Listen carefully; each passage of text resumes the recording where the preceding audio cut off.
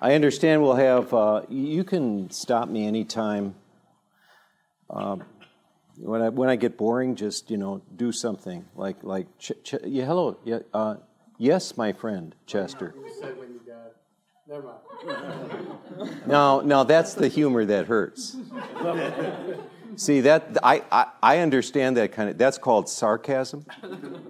Yeah, and it's wounding. It just should not be. But okay, you know, I thought we were going to be friends tonight, but uh, it looks like friends, can't friends joke? Yeah, exactly. That Yeah, friends building. Thank you very much. I appreciate it. Thanks for the assist. He almost he almost had me there.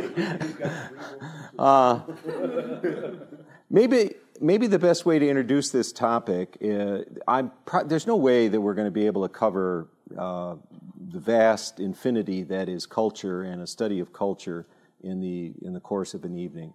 So let me just put it this way. Uh, I'm willing to answer any, I'm going to leave plenty of time after for you to ask any questions that you want, whether it has to do with biblical culture or how you distinguish certain passages in the Bible. How, how do you know that they're for just that time or for all time? You know, questions like that often come up, uh, and that's, that's a worthwhile question to answer.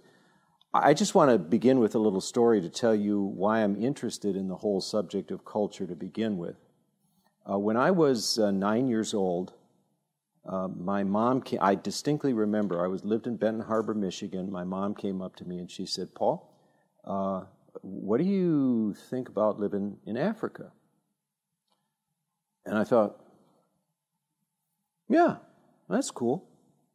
You know, I saw some Tarzan movies on TV.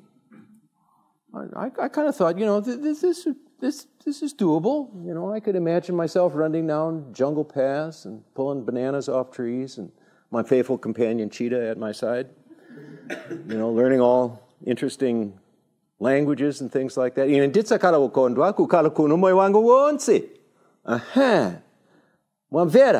Eh. You know, stuff like that. Uh, and so I said, great, let's go to Africa. And then I remember what it was like when the plane first landed on the tarmac in Lusaka. It was a VC 10. It had four jets in the back on the tail, and uh, it was one of the first major jets that they were flying in Africa. A really short little runway. I remember looking out the window at this alien environment that the heat was shimmering off the tarmac in a way that I'd just never seen the heat shimmer. And these flat top trees, acacia trees, just look so weird, you know, like what you see in the, the, the, the movies on the Serengeti and stuff like that. This, this yellow grass, like a shock of hair sprouting out here and there. And I suddenly realized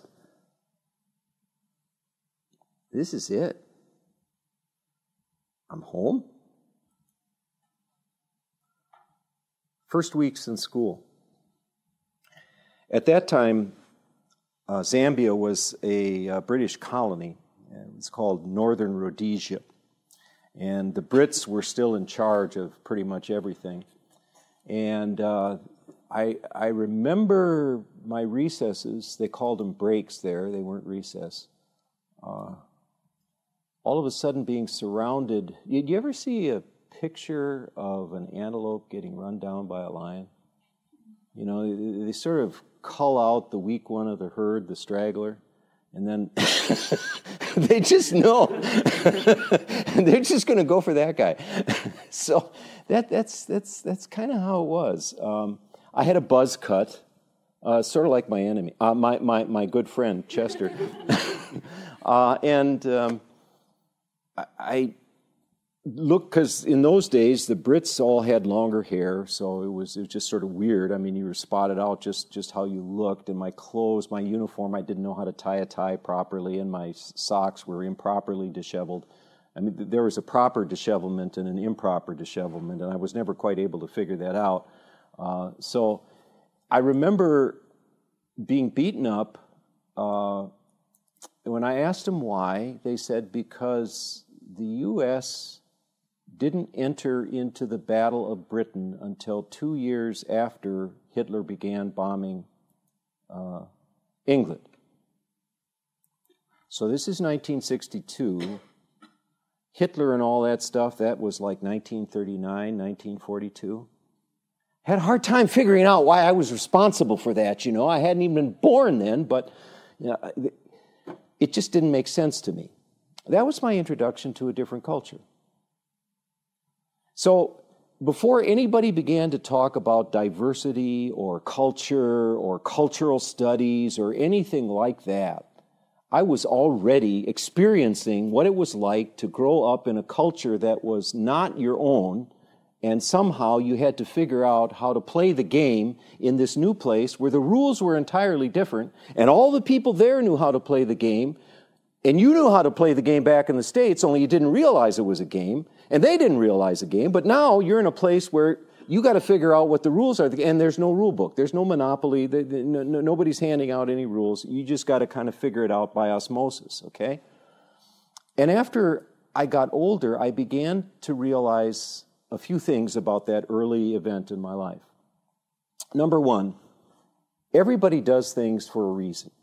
It may not be entirely rational, it may not make sense to you, but especially when it's coming from a different culture, pay attention, especially to the weird stuff, especially to the stuff that makes no sense. Because when you understand the stuff that makes no sense, then you're beginning to really understand this other culture a little bit. A little bit. So I began to figure out that they had only one governing narrative that talked about Brits and Americans. And that was the narrative of World War II, where Britain faced Hitler bravely on alone, and they were fighting the Battle of Britain, and America, through inertia, was just sitting there letting Britain fight their battles. And so somehow, when they met this new American, they had to organize their, their, their sensory experience into some kind of familiar story that made sense to them, and that's why I was pigeonholed the way I was. Beliefs, stories, narratives lead to behavior. That is an essential truth about culture. And, and, and the thing of it is, a lot of times these beliefs are so deeply embedded that most people of the culture can't even tell you what they are. I remember once going to a funeral in, uh, in, in Zambia, and I saw these guys uh, well, they, they did a number of things that I, I couldn't quite understand. First, there were a couple of guys that were running up and down a field with spears in their hands. They, now, don't get Africa and the Bantu people wrong. They, they don't carry spear, spears around. This is abnormal. So they must have had them hidden away some, somewhere, and they just brought them out for ceremonial occasions for funerals. They were kind of walking in a sort of a random way, and they were sort of, you know, thrusting their spears at the air. And I, I asked somebody, I said, you know, you know, Chirambanshi, Chobachita, what, what does this mean? What are they doing? And the guy said, Nchita, Nchianza Chesu. I don't know. That's our custom.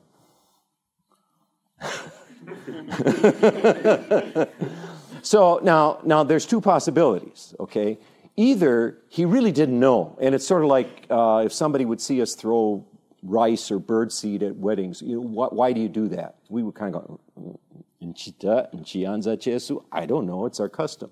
Or why do you have Christmas trees or, or, things like that? I mean, you know, there's a lot of things that we can't really quite explain that we just do. It, it's the sort of thing that you do. Or maybe he didn't want to say anything to me because he knew I was a foreigner and a, a, a person that came from money scads of money compared to how much money he had. So I was in a power up and he was in a power down position. Is this making sense? Is my English making sense?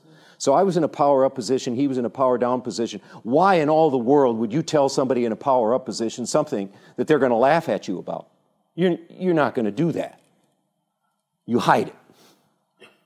So those are the two possibilities. Another thing that I couldn't figure it out is when the guy was finally put into the ground, uh, you know, there they, they, there's no funeral directors or nothing. You know, the body's right there, and they put it right in the ground. Then they pile the dirt on top of it, and they make sure that they pound all the dirt that was dug out of the hole into the hole again. and then they wash their hands, and it's a lot of water is going around. They wash all their implements, and nobody leaves the grave before they've done all that stuff. And then they start yelling at the guy in the grave, saying things to him You left us too soon. You left us children bereft. You were orphans. We got nothing now, and now you've gone. What does that mean? See, often you ask questions like this of the hard stuff, and you don't know the answers, and maybe they don't know the answers, and they can't explain it to you. Anyway, get back to the Brits. Can, can I go back there? Okay. Uh, why did they do what they did? Well, I think some of the anger and the emotion, because they had this narrative, okay, and that's the only way they could fit me into a narrative that made sense the, the Battle of Britain, America dilatory and coming into the war, they fought on alone, brave Britain, blah, blah, blah. Um, um, Britain was losing its empire at this time. This is 1962. The winds of change were sweeping across Africa. Colony after colony was receiving its independence, not only in Africa, but in Indonesia, Malaysia, all kinds of places all over the globe. The British Empire, of which they used to say the sun never sets, well, now the sun was setting really pretty quickly, and everybody knew it. And guess whose star was rising? 1962?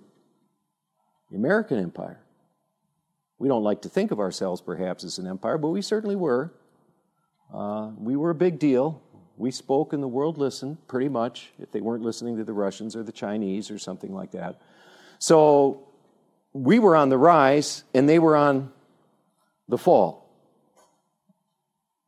Even as a kid, you kind of realize that stuff is going on. So, how do you feel about Americans? You don't like them. Why would you? You see what I'm saying? Culture at some level can make and has to make some kind of sense, even though those schoolboys probably could not have articulated what I just said to you. Because the most important part of culture to get at is worldview. Can I segue off to apologetics? Uh, it, it, it's my belief that in apologetics we often do something really stupid. We try to argue on the basis of, uh, oh, we try to come up with snappier arguments and sound smarter than the people that we're arguing with to sort of prove that Christianity is smart and okay and, uh, you know, we're really not all that stupid. And God really isn't this big bully that just kills people willy nilly in the Old Testament and does strange things in the New Testament. You, you know what I'm saying? So we think we, well, you can't beat up on my God like that. So we started to get in arguments with him. And uh, part of the problem is we're, we're not getting at them at a worldview level. It's an argument about, you know, my God is bigger than you're not God. Uh, I think it's important to try to understand where people are coming from, what energizes them, what are their hopes, what are their dreams, and that's really what culture is all about. It's learning to observe and to ask questions. You, you may not realize this, but I've sort of covered, you know, the first page. So that was my PowerPoint. You see, it's gone. Click. Okay.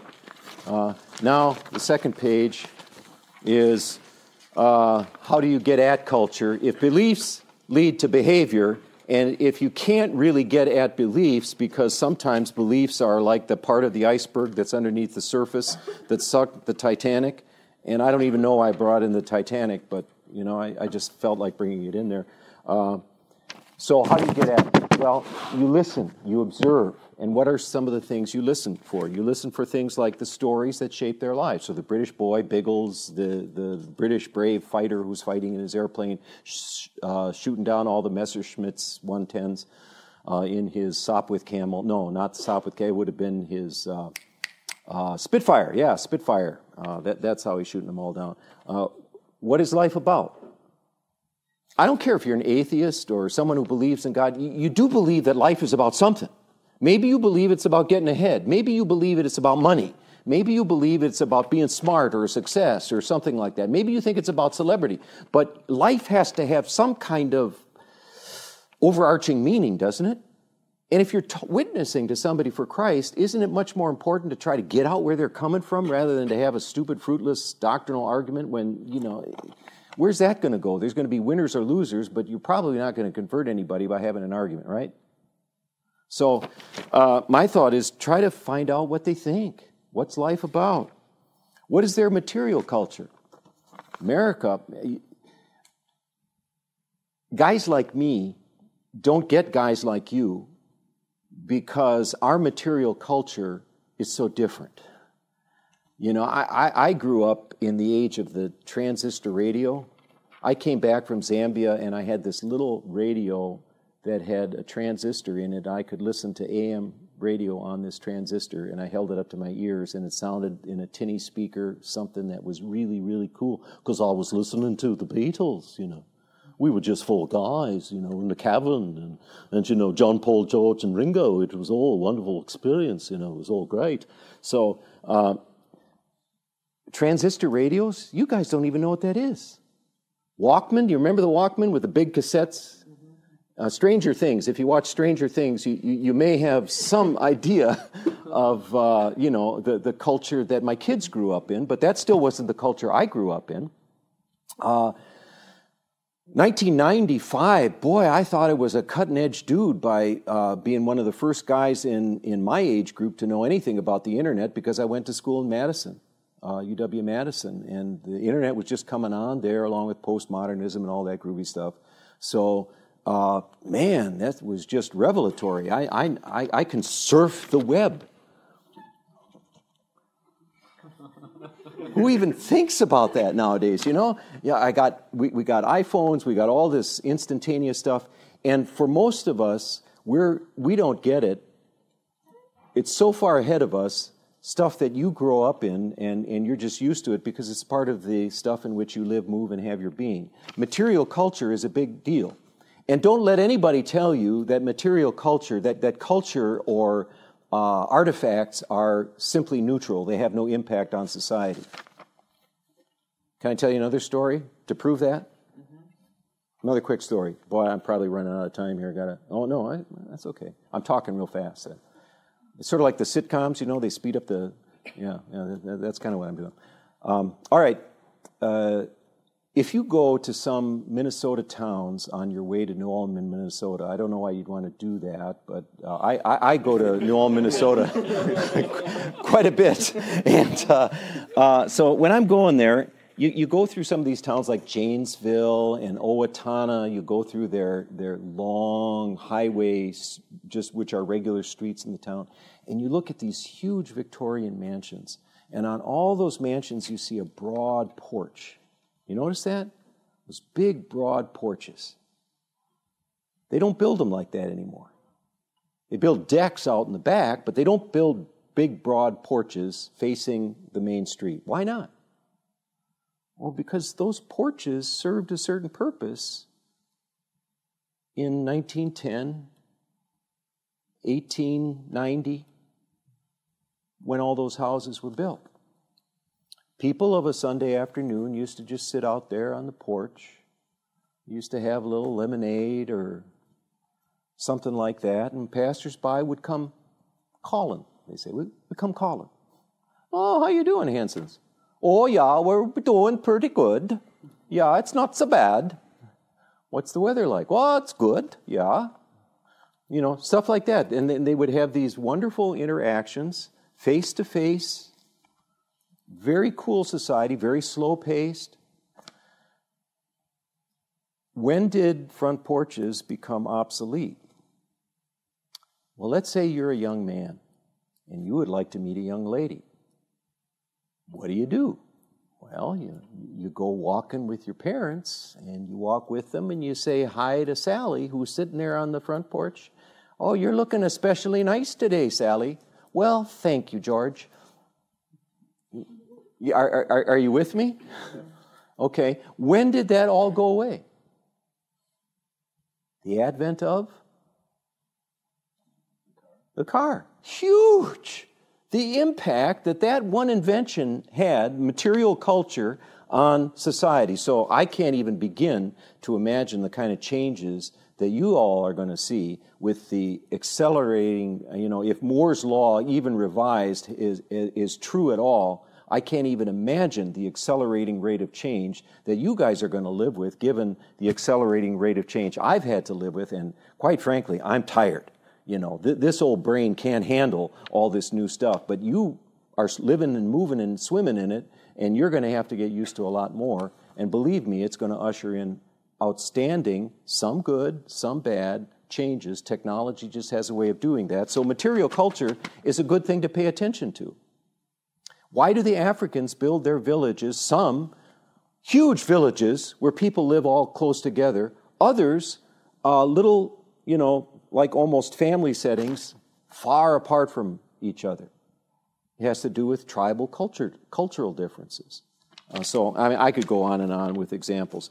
Attitude towards marriage in the family. Every society has some kind of regulation of the sexual impulse. I, I don't care who you are or, or, where you come from, every society has some kind of regulation uh, that provides for the safety and the, the future of children in some way. They've got to, otherwise, they simply cease to exist. Uh, decision making. Uh, we in America tend to make many of our decisions as individuals because for us, it is for freedom that Christ has set us free you know, and so we like to make our decisions as individuals because I'm an American, you know, clinging to my religion and my guns and all that good stuff. So I, am not going to get political. No, that, that was not a political comment.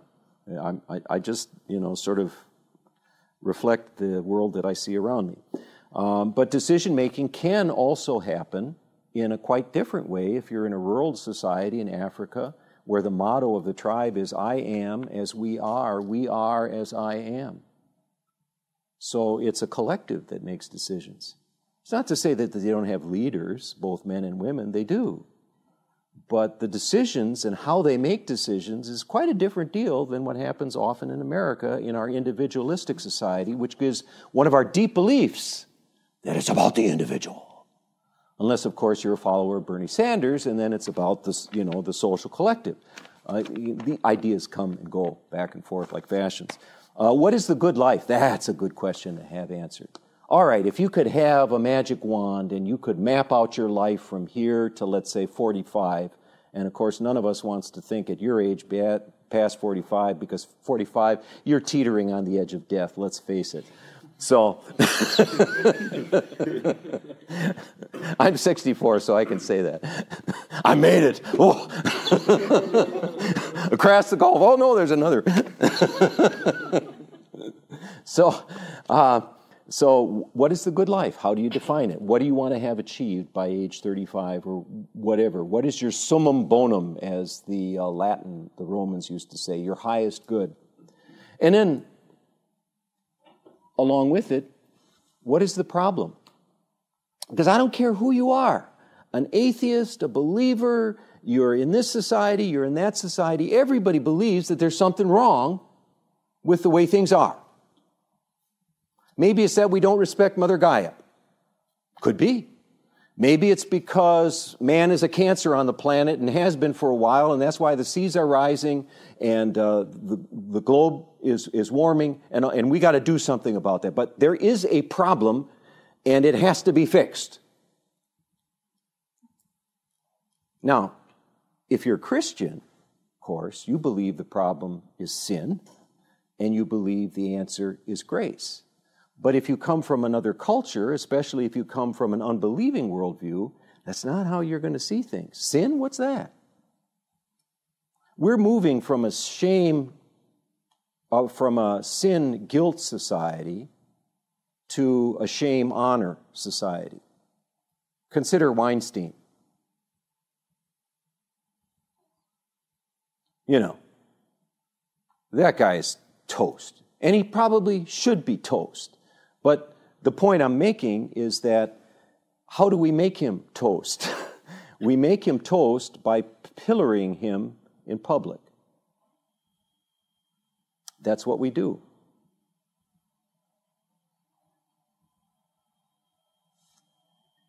It's not, in other words, that what he did was an evil offense against the Most High God who is going to hold him accountable for every act of using power illicitly to sexually exploit people that were in vulnerable positions that he deserves really nothing but eternal damnation for, and he needs to repent. Have you heard that from any of the news organs? That's just not how it's defined. That's not how we approach it. And if you don't recognize that there's a shift in language, the language that I spoke earlier might have been understandable in the 1920s in this good old US of A, but it's not understandable anymore. So we got to figure out a way of getting people to that point. Are you still with me? Am I making a kind of sense? All right. So, what is the problem? Now, I've been talking about a lot of problems. Let's try to see if we can bring it down to the, what the Bible has to say about this. And after I'm done, then I'll take your, your questions. Um, I mentioned earlier that when I was in Madison, I learned all about postmodernism. And what postmodernism did to me was really a number on my head because it took something that I firmly believed in, culture, and it exaggerated it. It seems to me that there's two problems when people talk about culture. The one is the Walt Disney version of culture. And you can probably sing it with me if you want. It's a small world after all. It's a small world after all. It's a small world after all. It's a small, small world. Um, that kind of diminishes the significance of culture. We're all the same after all. It's not that much different. If you just talk loudly enough to a person, even if he doesn't understand a word of English, eventually he'll get it. The British believed that for many years. it didn't work then. It's not going to work now. So you try to make too little of culture, and that's not right. But the postmodernists have gone the other direction, and they treat culture as if it was a linguistic black hole. Is what I said just something that made sense? A linguistic black hole. That you cannot escape the architecture that your language gives to your mind. And because of that, the meanings that you attach to what's going on is culture specific entirely. And it cannot really escape from one culture to another culture. So I can speak English and say, I am a human being. And I can say ndirimuntu, which is, I am a human being. But someone that's a postmodernist would say it's not really the same thing. Are you still kind of with me? So, this is a problem that I think is caused by postmodernism that they exaggerate the power of culture. What I'm trying to do with these, these um, documents here is to try to give you a biblical orientation that still allows you to say culture is a thing, but it's not the only thing. And there's other things that we need to think about from a perspective of revelation uh, and even natural science and natural law that are worth considering. So, an anthropo- anthropological uh, model of culture. I got this from my good friend Bill Kessel, who studied uh, anthropology in the University of uh, Northern Arizona, which was the place to study anthropology way back when. Um, he would say, Every human being is like all others. Here's where I am. Every human being is like some others. Every human being is utterly unique. Let's try like all others there is a human commonality.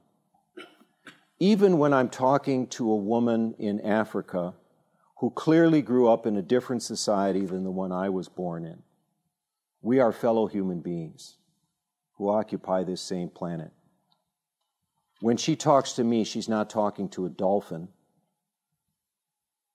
She's talking to another human being.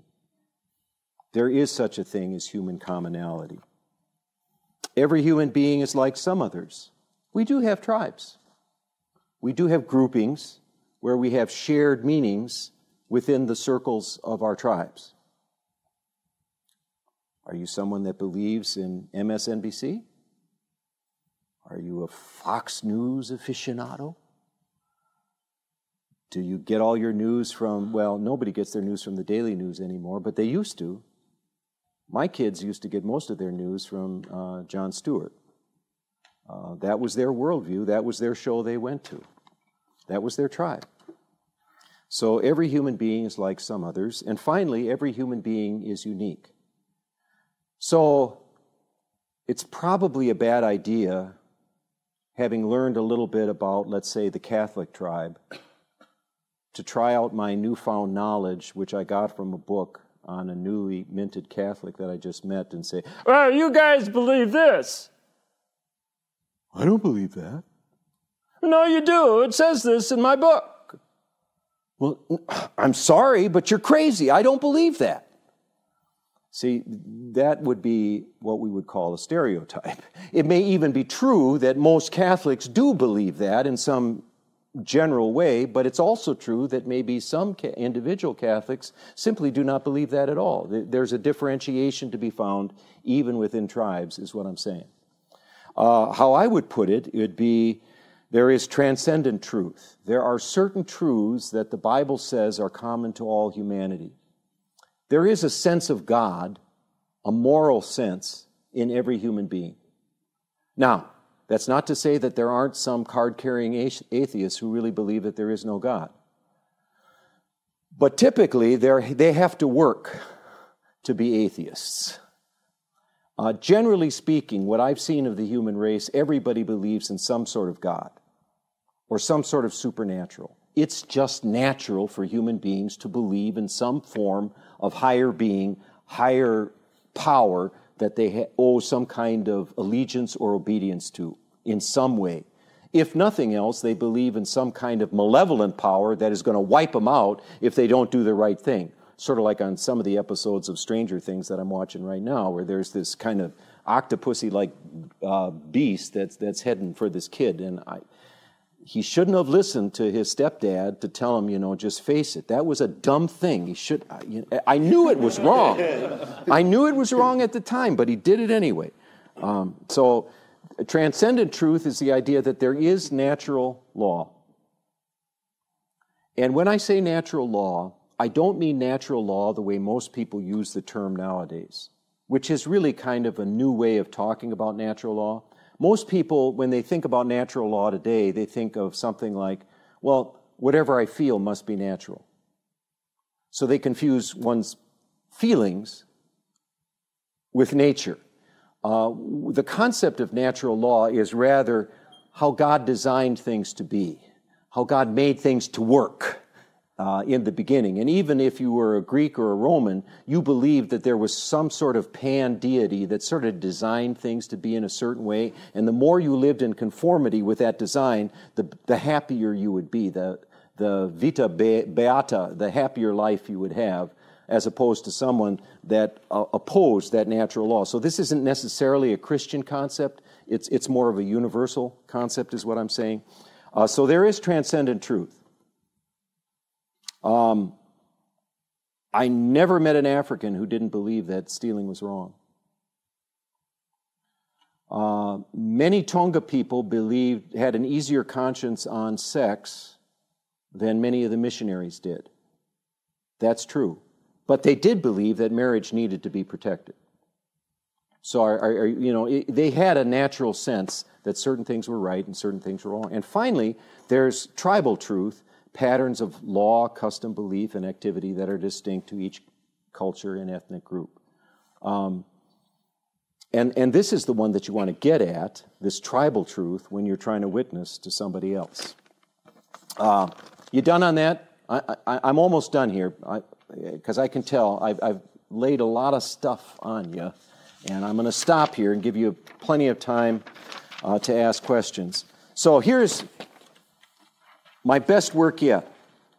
You may understand why I got C's in art in second grade. I, I don't understand why second grade teachers, why do you give people C's in art? Do you have any idea what that did to my self esteem? It nearly destroyed it. Awful, awful. You get a big fat C, you know, and, and Timmy over there, he got an A. What a jerk. so, my, my, my, my diagram to try to save us from the black hole of culture that I talked about earlier. That if I am trying to understand the scripture, I have to recognize first of all, that the world of Scripture is really many cultures spread over millennia. So when I encounter Abraham, for example, I'm dealing with a so called patriarchal age where people were pastoralists. They herded cattle, they moved from place to place. They were more like the Africans that I knew than uh, anybody in any urban center. When you're with King David, you're in a different place. Uh, when you're talking about Pharisees and Sadducees, uh, you're, you're in a different culture altogether. So it, it's, it's embracing centuries of different cultures, and you got to tune into that. Because if you want to understand what the words mean, you have to understand them on the terms of the times that they are depicting, right? That just makes sense. So you got to tune into the world of Scripture, also correcting for your own biases because, you know, we all have filters. And I alluded to one of those filters before. You know, Americans are individualists.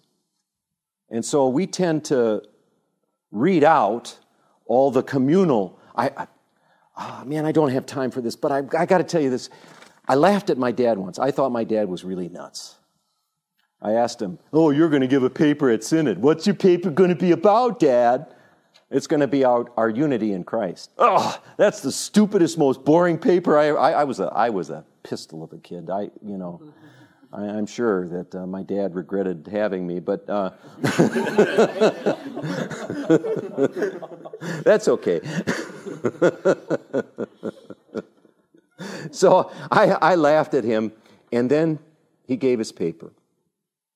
You should have seen the lineup of people that went up to him to personally shake his hand after they, they it was the most electrifying paper all the passages that talked about how we are all one in Christ and we are all unified it just hit them right where they lived. Well, the more I thought about it, the more I thought, well, we filter out things.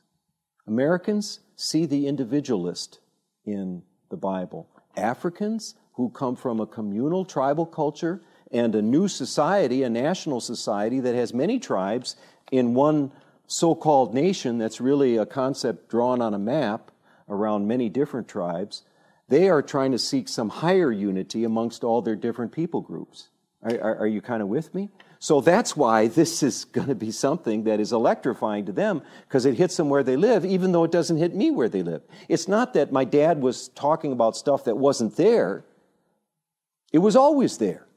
It's just I didn't see it because I had filters on. So you got to correct for those filters as you're interpreting the scriptures. And then you've got a third challenge as you're trying to reach this person who may be an atheist, who may have a different ideology than you. He may be a Republican, he may be a Republicrat, he may be nothing at all, apolitical, you know, whatever, whatever. You, you, you got to try to reach him in a way that doesn't, that causes more light than heat to arise. Because isn't that one of our problems today? It seems like all the insulation has worn off the world, and we're just sparking all over the place. We don't talk to each other, we, we, we yell at each other. We don't listen to understand, we listen to find words that we can use and turn around like arrows against our enemies and destroy them. Uh, rather than to try to listen with empathy and really understand the world as he or she presents that world to us to reach that full understanding. Not that we don't believe that the truth of Scripture isn't important, but so that we may speak that word in such a way that hits them where they live. Is this making a kind of sense? And the reason why we have a right to do that is we do have a common humanity. That's what that circle, that smaller circle represents the human commonality. We're not talking to dolphins. But even more, that our God revealed himself to us. Yeah, I will admit to any atheist, I, I approach the world with a crazy presupposition.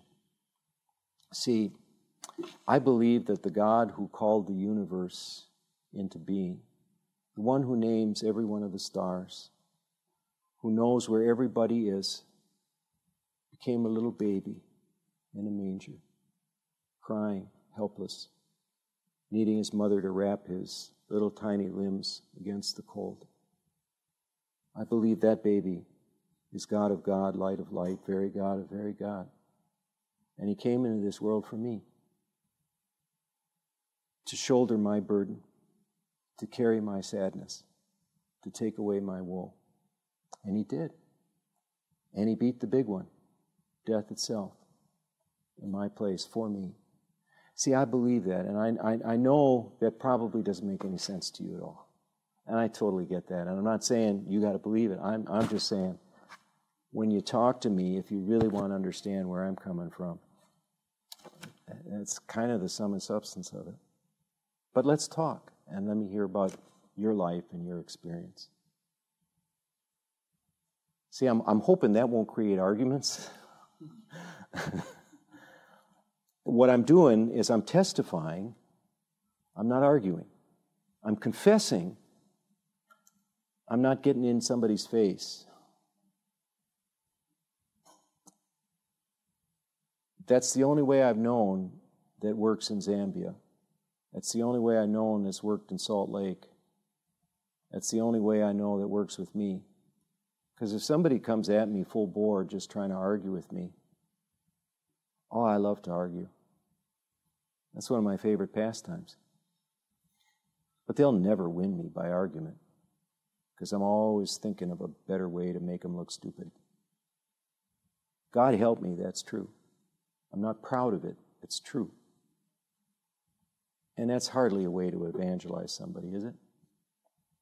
So I'm done. Your questions. You can ask me any question you want about culture, Bible, Romans, Bible interpretation, life in general. I wish to know the meaning of life, Father. Well, my son, life is like a beanstalk, isn't it?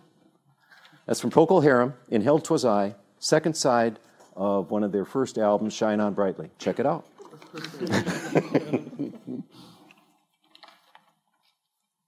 so I, I'm not sure if you know the answer, but the um, the culture around Jesus' time was that at all, at least in like Jewish society? Was that more individualistic like us, or is that more?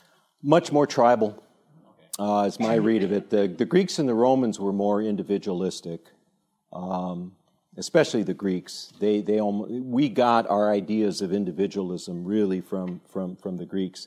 Uh, the, the, Jews were much more uh, a rural society, and uh, they had their sects. It's not they had their smaller tribes. They had the Essenes, uh, the people from Qumran, probably. They had the Sadducees, who were the priestly caste in uh, the guys with all the power.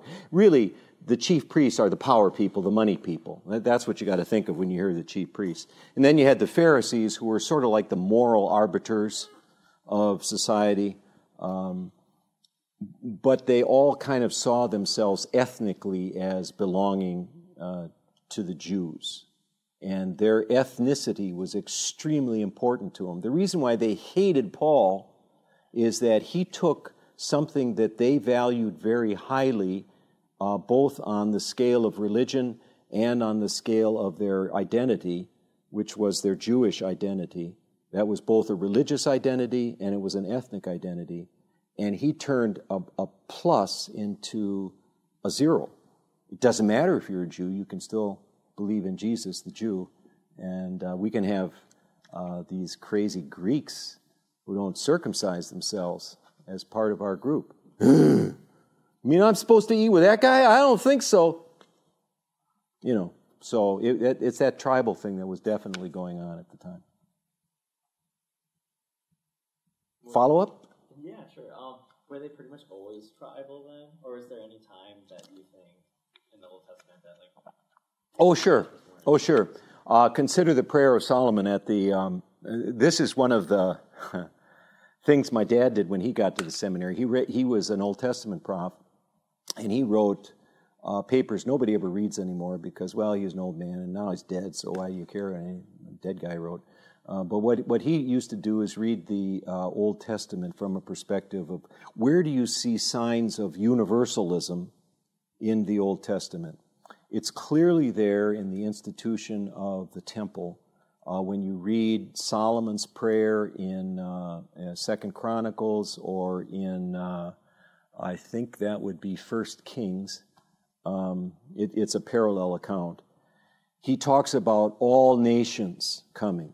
Uh, when you hear the promises that were first made to Abraham, in you and in your seed will kol hamishpachot haaretz, all the uh, families, the tribes of the land be blessed, of the world be blessed. Um, so, if they hadn't got hung up on their ethnicity, they were to be a light for the Gentiles, as Isaiah said, that God meant through them to save all people. And He did but not in the way they figured. They thought it, uh, that this idea of ethnicity was more important than it was. Does that make sense? Chester? Yeah, so you talked earlier about um, the, you know, the Asian cultures right now are more uh, shame, mm-hmm. honor and shame based. Um, I think we are too. I never hear the word sin anymore. What, what is the opposite? Sin and Sin and grace. Sin and grace is the so. Sin guilt, sin grace, sin forgiveness. We talk about forgiveness, but forgiveness is more, as I hear people talking about it, is if somebody has done you a terrible injury, why give him power over your life and make your life a misery? Let it go. That, that's what I'm hearing when I hear the modern version of the, the psychobabble version of forgiveness. I mean, there's a lot of truth in it. I'm not saying there's no truth in it, but it's not sin and grace as you find it in the scriptures. What was it in, uh, in time of Jesus? Are you talking the New Testament? Both. Both. Both. Uh, they had, um, you know, clearly they had a strong sense of lack of righteousness they also had people that were very proud. You know, why did certain people like this, the best seats in a wedding that Jesus points out? You know, it's very much uh, shame glory culture. Greeks were all about shame glory. Um, I don't even think sin was a big deal for them. Uh, Romans were more moralistic, but they were politically moralistic uh, sort of like U.S. today. Uh, they would destroy their political enemies by saying they're given to luxury. They live like Egyptians. They're always eating dainty foods. And who knows what they do on their islands?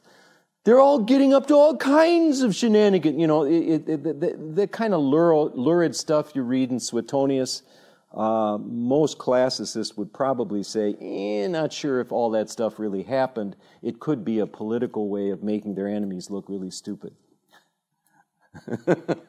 I tend to be a little bit of a cynic, I guess. Um, what, just to give an example, like what could you identify uh, something that causes a culture shift? Uh, for example, like I know our generation and it's true, but like like you said, we don't talk to each other. It's all texting and Facebook. Um, could you name a couple of things that could spark a change like that? Because 20 years ago, 30 years ago, it wasn't like that. I, I think a lot of the change that's happening in American culture is driven by technology. Um, that's a biggie. But there, there's a lot of things that can influence it. Um, consider what happened to uh, the folks in in Tenochtitlan, Mexico City, when they encountered these Spanish conquistadors, and suddenly life was different. They knew that a page had been turned. They didn't realize how radically it had been turned. So, encounters with other cultures that have greater power than you can radically change your, your world order. Um, um, cultures can change by dying if they are impervious to change. Too little change uh, makes you like the Amish. Uh, you, you, you can continue to subsist for a while, but you will be kind of become an isolated subset, subculture of a larger culture. Uh, and eventually you'll die off. I think WELS is, is in danger of becoming like the Amish, um, quite frankly. Uh, on the other hand, too much change and you, you lose coherence. The tribe can't stay together anymore because there are no more shared meanings. A, a tribe exists when, when there's a lot of implicit communication, like with a husband, with a wife. Uh, you don't have to spell everything out when you've been married uh, for 35 years as I've been married. You know, sometimes just a look or a glance or to say a word or something like that conveys a whole world of meaning. And that's because there's a lot of shared information that's implicit. Well, that's what makes tribes work. There's a lot of shared information that's implicit.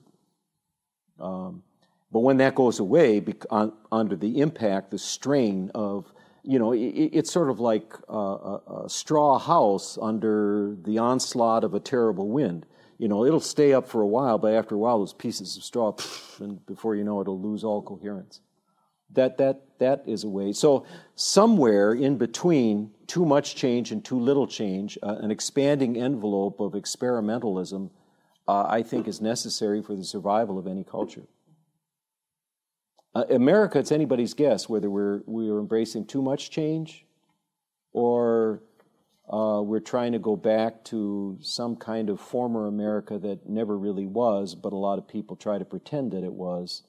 Um, I, I, really can't believe some of the uh, neo Nazi uh, uh, white privilege stuff I'm seeing nowadays. I wouldn't believe that. But I guess I can understand it as a reaction to a sort of a blithe embracing of diversity as if it was just a, a value in and of itself that didn't have any threats concomitant with it. Does what I say make any sense?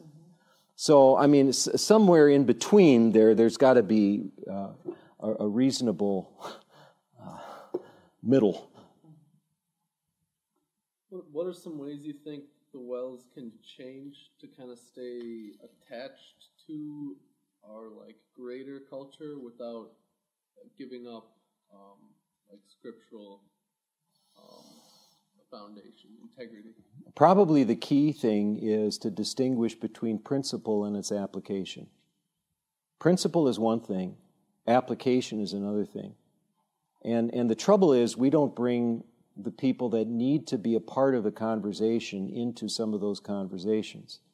Um, one of the things uh, that my dad did who, who was responsible for the ministerial education program in the Lutheran Church of Central Africa, was to have a senior pastoral theology class where basically it was a seminar. He and his students would talk about, okay, I've given you the principles and I know you believe them. Now, how do you apply them in your situation? Let's have a seminar and talk about them. So, I don't really know all the issues that you deal with. I think I would be presumptuous if I would say to you, this is what you got to do, this is what you got to do, this is. I, I, can talk about the principle, and then I can challenge you. Let, us talk about ways of applying that. Um, and I think through dialogue, as we come to a greater understanding of what the issues really are and how to take that principle and apply it to the current situation, uh, I, I, I think therein lies wisdom. So I, I think we could do it if, if, we're just a little bit more open, and, and we need each other. Uh, um, one of the saddest things, and I'm not going to mention the congregation, but one of the saddest things that bothers me is when boomers um, think that church is all about them. And they kind of occupy pews and resist any kind of change simply because it's all about them. Now, I'm not saying that every change just per se is a good thing. Maybe they should be saying there's some of these things that I'm not so sure of. And people that are advocating should have respect for, for older. You know, uh, so I, am not just saying, let's do anything we want. But, but I am saying, it really bugs me when boomers just say, I don't know, I don't like that. Uh, you know, syncopation is the tool of the devil.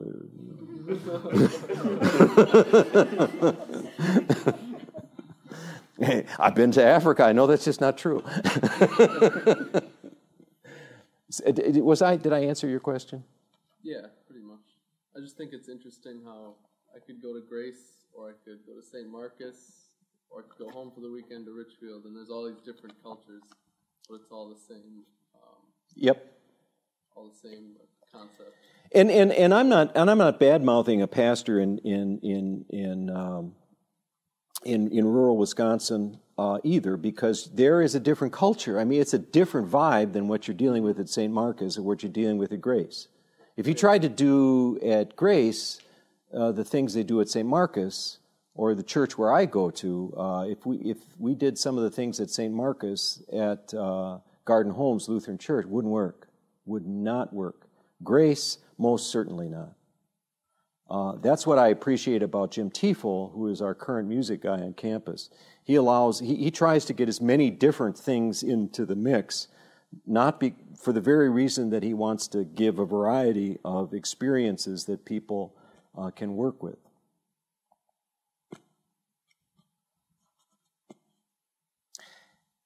It's been a privilege, and I think we should end this here because you all seem tired, and that's good. that's my goal, you know, to tire people out. Did I, did I create uh, one of the things I always test myself in any classroom situation? Did I create the climate of fear and loathing that I usually try, strive for? did I? Thank you, Chester. That's really what I was going for, um, because fear is important. Let's close with a prayer. Lord Jesus Christ, we thank you for the marvelous world that you have created and all the infinite variety that you have allowed to exist within it. We ask that you would help us to recognize that there is both your creative force for good and the satanic forces for evil in every good thing in this world. We ask that you would help us to embrace the good and to stand firm against the evil. Above all, we ask that you would protect us by the power of the name of Jesus Christ, the name by which he came and revealed to us your innermost heart and thought by dying for us on a lonely cross. Keep us in him as we live each day to give you glory. We ask this in his holy name. Amen. Thanks.